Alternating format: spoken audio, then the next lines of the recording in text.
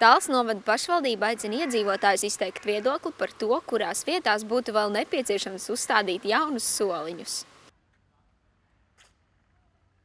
Talsu pilsētas novada iedzīvotājiem un viesiem staigājot pa pilsētu nereti kājas piegust un ir vēlme nedaudz apsēsties un atpūsties. Par to domājot vasaras sākumā, Latvijas zaļās partijas Tals nodaļa uzdāvināja Tals pilsētai soliņus, kurus izvietoja vietās, kur to nebija, vai tur, kur soliņi jau bija nolietojušies.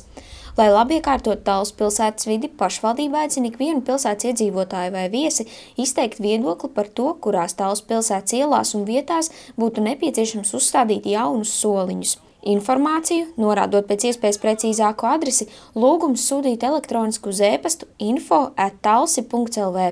Talsu novada pašvaldība aicina Talsu pilsētas iedzīvotājs būt aktīviem un iesaistīties pilsētas vidas labiekārtošanā.